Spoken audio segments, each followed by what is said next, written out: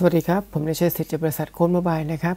ในคลิปนี้นะครับจะเป็นคลิปที่ผมจะมาเขาเรียกว่าสอนเกี่ยวกับเรื่องของการประกาศตัวแปรนะครับในภาษา Python นะครับก็จะเป็นไฟล์ demo 4นะครับ แต่จะเห็นว่าผมมี demo เกลียบที่ทำไปก่อนหน้าเนี่ยเยอะเลยนะครับ เพราะว่าเป็นการ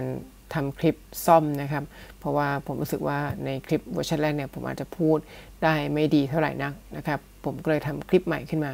เอาละเรามาดูกันนะครับว่าการประกาศตัวแปรนะครับในภาษา Python เนี่ยมันทำได้กี่แบบนะครับเบื้องต้นก่อนผมขออนุญาตเขียนคอมเมนต์นะครับว่าการประกาศตัวแปรแบบทั่วไปของ Python เนี่ยจะรองรับทั้งแบบที่เป็นเขาเรียก implicit นะครับและ explicit declaration implicit สะกดเงี้ยนะครับ implicit declare นะครับ ration หรือการประกาศตัวแปรโดยที่เรา assign ค่าให้มัน โดยที่ยังไม่ต้องทำการระบุ data type นะครับ แต่ต้องบอกก่อนว่าภาษา Python นะครับ เป็นภาษาที่เป็น strong type นะครับ หมายถึงว่าทุกๆตัวแปรมี type ของมันเองนะครับเอาละพูดอย่างนี้อาจจะงงๆนะครับ ผมจะเริ่มพิมพ์ก่อนก็คือ temp 1นะครับ เท่ากับ 1 นะครับ temp 2เท่ากับ hey นะครับ temp 3เท่ากับ true ก็จะเห็นว่า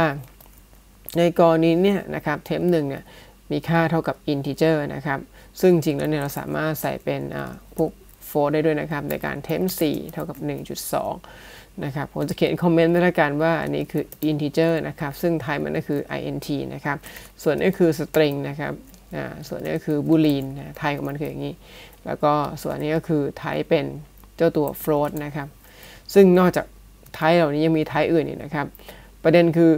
ในบางครั้งเนี่ยเราสามารถที่จะเขาเรียกว่าสร้างตัวแปรแล้วก็กำหนดเรตไทป์มันนะโดยการใส่เป็นลักษณะเหมือนกับแค่ค่าที่เขาเรียกว่า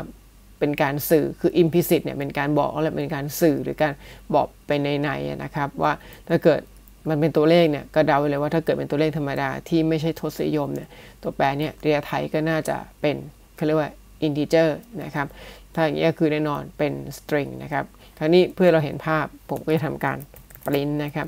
ค่าของเทมหนึ่งออกมานะครับ คราวนี้เวลารันเนี่ยนะครับก็ผมเบื้องต้นก่อนผมจะยังไม่ใช้โหนดมอนอย่างนั้นนะครับ ผม cd เข้ามาที่ workshop แล้วผมก็จะพิมพ์คำว่า python แล้วก็ตามด้วยคำว่า demo 4 นะครับ แบบนี้นะครับ enter ก็จะเห็นว่ามันสามารถ print ค่า 1 ออกมาได้ก็คือเทมหนึ่ง คราวนี้ผมจะทำอะไรบางอย่างครับผมก็จะทำการปริ้นไทยของมันนะครับด้วยคำสั่งหรือฟังก์ชันที่ชื่อว่าไทยนะครับอันนี้จะทำให้เราเห็นภาพเลยว่าไทยมันก็คือ in นั่นเองนะครับผมถึงบอกว่าทุกๆตัวแปรเนี่ยนะครับมันมีไทยของมันเองนะครับพูดง่ายคือเป็น strong ไทยนะครับเอาละคราวนี้ต่อนะครับผมจะทำการเขาเรียกว่าลองที่เป็นอย่างเช่น string มากนะครับ ก็เป็น ตัวนี้ดูนะครับ ว่ามันจะขึ้นเป็น string ไหมก็จะเป็น string นะครับโอเคนะนะครับบูลีนก็จะได้ทั้ง true แล้วก็ false นะครับแบบนี้เนี่ยจะเป็นการประกาศแบบประหยัดพื้นที่นะครับ ก็เขาเรียกว่า บางทีเราไม่อยากจะมาพิมพ์ไทป์ให้มัน แต่ถ้าเกิดเราต้องการจะระบุไทป์แบบชัดเจนไปเลย แบบนี้เราจะเรียกว่าแบบที่เป็น explicit ครับ explicit นะครับ declaration นะครับ ซึ่งแบบนี้เนี่ยทำยังไงก็สมมุติผมเป็น e นะ mp 1แล้วกันนะ explicit นะครับ exp 1แล้วกันนะนะครับ เท่ากับนะครับหนึ่งนี้ฮะมันจะไม่อ่ามันอย่างเงี้ยคือเป็นลักษณะ implicit ผมต้องใส่อย่างนี้ครับโคลอนแล้วก็ in นะครับ บางคนก็ใช้วิธีการชิดกันเลยก็ได้ แต่ว่าโดยส่วนตัวผมชอบเป็นช่องไฟเอาไว้นะครับ แล้วก็นั้นเวลาจัด format มันชิดให้เราเองนะครับ อันนี้ก็คือแบบ integer นะครับ แล้วก็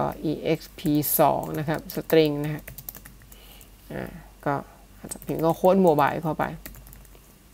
นะครับแบบบูลีนนะครับ ก็จะเป็นบูนะครับ แล้วก็อันนี้ก็จะให้เป็นเช่นเป็น false นะครับ แบบ floating นะครับ floating เนี่ยก็คือจะเป็นแบบนี้นะครับ ซึ่งเอาละคราวนี้ผมก็จะทำการลองปริ้นดูว่าได้จริงไหมนะครับ ก็ exp 1 นะครับ โอเค ก็แล้วก็ลองดูท้ายด้วยนะครับ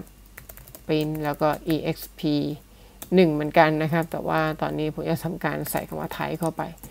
จะรู้ว่ามันไทยอะไรกันแน่ แล้วก็ลองรันครับ ก็จะเห็นว่าในกรณีเนี่ยได้เหมือนกันนะครับ เห็นไหมไทยเป็น in นะครับ ผมจะลอง ตัวที่เป็น exp 3 ก็ได้4แล้วกันนะนะครับ4 4นะครับ ใส่เข้าไปใส่เข้าไปนะครับแล้วก็ลองอีกทีหนึ่งก็เห็นว่าเห็นว่าเป็น float คราวนี้สำหรับคนที่รันแล้วเกิดไม่ได้นะครับต้องบอกก่อนว่าไอการประกาศแบบ explicit declaration เนี่ยมันเพิ่งมารองรับใน Python 3 นะครับ บางคนเนี่ยอย่างเช่นไอตัว node mon เนี่ยถ้าเกิดคุณรัน node mon โดยปกติเนี่ยมันจะ default เป็น Python 2 นะครับ คุณต้องทำการ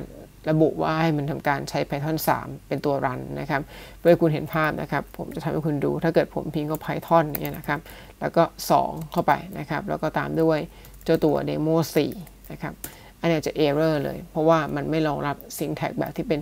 explicit declaration นะครับ ถ้าคุณอยากจะให้มัน compile ได้เนี่ย ก็ต้องเป็น Python 3 นะครับ ซึ่งประเด็นคือ i default Python ธรรมดาเนี่ยผมไม่ไม่แน่ใจมันเซต alias เนี่ยให้เป็น 2 หรือ 3 ในแต่ละเครื่อง อย่างเครื่องผมเนี่ยมันจะเซตให้เป็น 3 ฉะนั้นเนี่ยพิมพ์ Python ธรรมดา หรือ Python 3 ก็ได้ถ้าเกิด Python 2เนี่ยมันจะ error อย่างที่คุณเห็นนะครับ เช่นเดียวกันครับ อย่างเช่น Node โนดมอนเนี่ยถ้าเกิดผมพิมพ์โนดมอนอย่างเงี้ยนะ แล้วก็ตามด้วยเจ้าตัวเดโมสี่นะครับ ตอนเนี้ยเดี๋ยวมันจะ error เนื่องจากตัว default เนี่ยของโนดมอนเนี่ย มันจะใช้ตัว Python ที่เป็น Python 2 นะครับ วิธีการแก้เนี่ย เราจะต้องการใช้เจ้าตัวซอฟต์แวร์นะครับ ที่เป็น PIP นะครับ หรือพิมพ์ env แล้วก็เซตเป็น virtual environment ซึ่งตรงเนี้ยเดี๋ยวผมจะมาเจาะลึกอีกทีนึงแล้วกัน แต่ว่าตอนนี้เนี่ย ถ้าคนไหนใช้เป็นก็คือต้องเป็นอย่างนี้ครับ คือพิมพ์คำว่า pip.env นะครับแต่ถ้าเกิดคนไหนยังพิมพ์ไปเนี่ยเราเราไม่รู้จักเจ้าตัว pip env นะครับพูดง่ายคือ enter ไปเนี่ยมันไม่เกิดอะไรขึ้นอย่างเงี้ยนะครับ ก็อาจจะต้อง pip แล้วก็ install pip env ก่อน ก็คือติดตั้งลงไปในเครื่องก่อน หลังจากที่ติดตั้งเสร็จแล้วเนี่ยเราก็สามารถจำลองเขาเรียกว่าเหมือนกับเป็นเป็น environment ของมันเองขึ้นมาได้นะครับ ซึ่งคำว่าเป็น environment ของมันเองเนี่ยเราสามารถจะทำการ config environment เนี่ยตามความต้องการเรา เช่น บอกว่า environment เนี่ยเราใช้ Python เวอร์ชัน3.9 คือโลกภายนอกมันจะเป็น Python อะไรก็แล้วแต่ แต่พอเวลาเราทำการก็เรียกว่าเหมือน set environment ของเราเนี่ย ให้ไปตามไอตัวพิมพ์ไฟล์ปุ๊บเนี่ย ก็มันก็จะมองว่า default Python เนี่ย ก็จะเป็นเวอร์ชัน3.9 นะครับ เอาล่ะ ผมทำให้คุณดูนะครับ ผมก็จะพิมพ์ก็ว่า pip env แล้วก็ shell นะครับอะไรที่เราติดตั้งไปแล้วก็ shell มันก็ทำการจำลองเขาเรียก virtual environment ให้เรานะครับ ซึ่งใน virtual environment เนี่ย Python เราเนี่ยนะครับ ก็จะเป็น Python ที่ default เป็นเวอร์ชัน3.9 แล้วก็ถ้าเกิดเราใช้โหนด mon นะครับ npx นะครับ แล้วก็โหนด mon แล้วก็ตามด้วยเจ้าตัว demo 4 ใช่ไหมไอตัวนี้มันก็จะทำการลง cd เข้าไปใน workshop ก่อนนะครับ ก็ npx แล้วก็ nodemon แล้วก็ demo 4 ตัวนี้มันก็ทำการ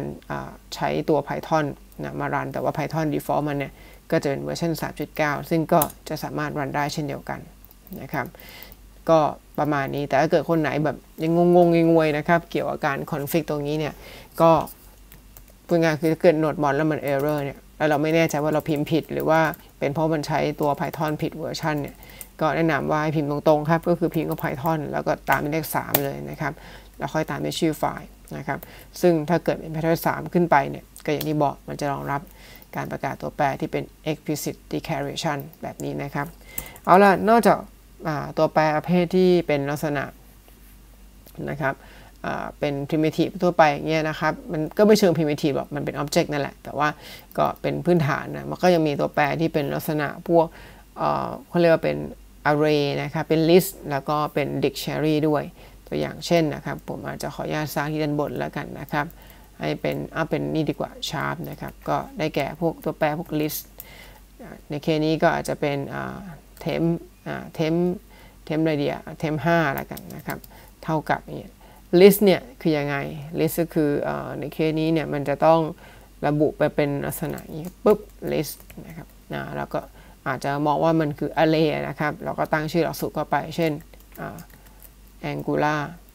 นะครับจริงๆ เราไม่ต้องใส่อย่างนี้ก็ได้นะครับ รู้สึกว่าจะแบบนี้ก็ได้ มันมันสามารถใส่หลายฟอร์แมตรู้สึกจะเป็นอย่างนี้ก็ได้นะครับนี่ก็เป็น array นะครับ อันนี้คือจะเป็นลักษณะเหมือน fix size ไปเลย ถ้าเกิด list นี่จะขยายไซส์ลดไซส์ได้นะครับ อันนี้ก็จะเป็นจำลองว่าเป็นนี่ซึ่งอันนี้คือตัวแปรแบบที่เป็นลักษณะเชิง array นะครับ ก็ ผมจะลองปริ้นมันดูนะครับ ก็ temp 5ผมขออนุญาตที่จะทำการ run อย่างนี้แล้วกัน ก็เห็นว่ามันก็จะเป็น array หรืออการประกาศตัวแปรประเภทที่เป็นลักษณะ dictionary นะครับ เทม6 dictionary นี่ก็จะเป็นลักษณะอย่างนี้นะครับแบบ short form อันนี้คือแบบที่เป็นเขาเรียก implicit declaration นะนะครับ ซึ่งก็จะเป็นแบบนี้ก็เป็นเขาเรียกไงนะ เป็นอย่างนี้แล้วก็ สมมติคีย์เข้าไปแล้วกันคีย์คือ username นะครับ แล้วก็ value ก็คือเช่น admin นะครับ แล้วก็ key คือ password นะครับ value ก็คืออย่างนี้แล้วกัน มันสามารถทำได้หลากหลาย syntax อันนี้ผมก็จะลองปริ้นดูนะครับ ที่เป็น temp 6ดูว่าได้ไหมนะครับก็เห็นว่าเป็น dictionary ได้เหมือนกันนะครับ มันทำได้หลากหลายกระบวนท่ามากนะครับ หรือถ้าเกิดคุณต้องการจะเหมือนระบุ นะครับโดยการสร้างเป็นลักษณะเหมือนเพื่อเป็นเป็น list นะครับข้างบนเนี่ยเขาเรียก array มันจะ fix ไปเลยนะครับแต่เกิดคุณต้องการจะเพิ่มหรือมันลดได้เนี่ยนะครับมันก็จะมีเทคนิคแบบนี้ครับ ก็พอดีผมทำไว้ละผมจะก๊อปขออนุญาตก๊อปแปะแล้วกันนะครับ จะได้ไม่เสียเวลามาก ก็จะเป็นออย่างเช่นกรณีนะครับเป็นดิกดิกก็คือเทียบเท่ากับตัวนี้นะครับก็จะเป็นการ assign ค่าเข้าไปนะครับแล้วก็แบบ list list ก็จะเป็นลักษณะอย่างนี้นะก็มีแบบนี้นะครับ จริงๆก็คือเทียบเท่ากับตัวที่เป็นตัวนี้อันนี้ผมจะทำการเขาเรียกว่า run ให้ดูแล้วกันนะครับ ก็จะเป็น temp 11 นะครับ กับ temp 12ไอ้ตรงนี้เราค่อยๆดูไปนะครับ มันยังมีให้เล่นอีกเยอะนะครับ ก็ประมาณนี้ครับ นี่การประกาศตัวแปรแต่ละแบบในภาษา Python นะครับ ในคลิปนี้คงเท่านี้ก่อนแล้วกันนะครับ สวัสดีครับ